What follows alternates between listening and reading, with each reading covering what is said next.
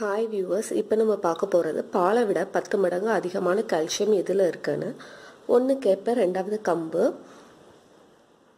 இது எனக்கு ஒரு சித்தா ஹாஸ்பிட்டலில் சொன்னாங்க. அவங்க முதல்ல சொன்னது பால் தயிர் இது ரெண்டுத்தையுமே சாப்பாடுலேருந்து அவாய்ட் பண்ணணும். தயிருக்கு பதிலாக நீர்மோர் எடுத்துக்கலாம்.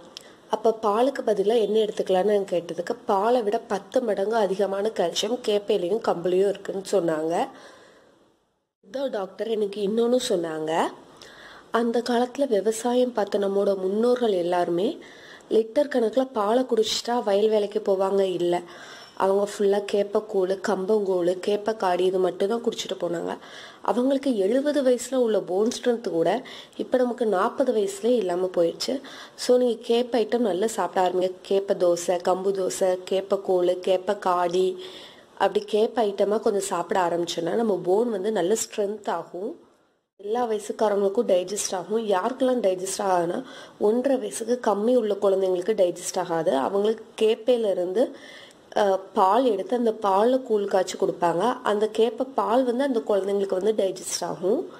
ஸோ எல்லோரும் கேப்பை யூஸ் பண்ணுங்கள் கேப்பையும் கம்புக்கு யூஸ் பண்ணுங்கள் நல்ல போனை ஸ்ட்ரென்த் பண்ணுங்கள் கேப்பை வந்து சூடு. ஸோ இதை வந்து நீங்கள் மழை காலத்தில் எடுத்துக்கோங்க. கம்பை வந்து நீங்கள் வெயில் காலத்தில் எடுத்துக்கலாம்.